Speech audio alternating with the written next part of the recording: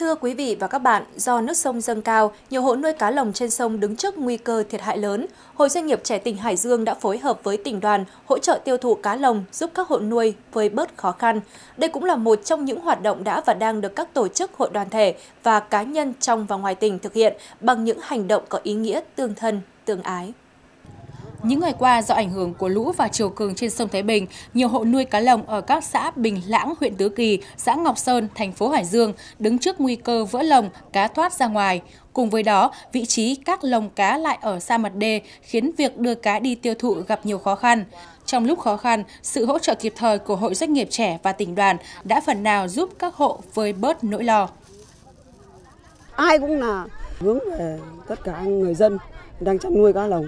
À, đặc biệt là công ty chuyên Việt đây hôm qua đây về số tiền em nhận được đây thì em cũng trao về cho chú thím em.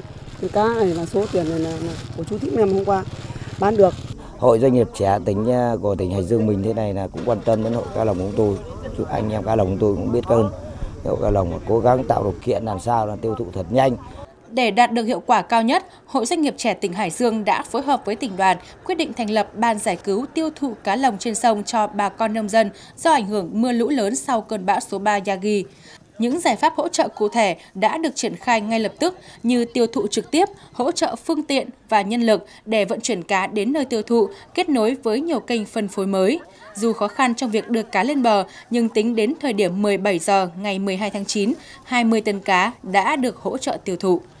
Chúng tôi cũng lựa chọn những cái nơi mà đang ừ, cầu cứu, đang cấp bách um, giải quyết càng nhanh càng tốt. Vì nếu mà chúng ta để chỉ cần qua một tiếng hai tiếng thậm chí là một thời gian ngắn thôi là cá sẽ chết. Mà khi cá đã chết rồi thì ờ, chúng ta sẽ không thể nào mà đưa cá đến tay người tiêu dùng được. Và không những mà ừ, bị ảnh hưởng về thiệt hại về kinh tế nhưng sẽ ảnh hưởng về môi trường. Thì cái việc này là cái việc mà ưu tiên số 1 đối với những đối tượng mà không thích ứng được trong cái điều kiện mưa lũ như này như cá chấm cỏ ở tại ngoài sông và cá chép thì chúng tôi đã ờ, ưu tiên vào những cái đối tượng đó để giúp cho bà con tiêu thụ ờ, một cách tốt nhất. Được biết, hoạt động hỗ trợ nông dân của Hội Doanh nghiệp trẻ và tỉnh đoàn không chỉ dừng ở các hộ nuôi cá lồng trên sông mà sẽ được mở rộng đối với những sản phẩm nông nghiệp khác. Mục tiêu đặt ra nhằm góp phần san sẻ khó khăn và hạn chế thiệt hại đối với người nông dân, thể hiện trách nhiệm của những doanh nhân thời đại mới với cộng đồng.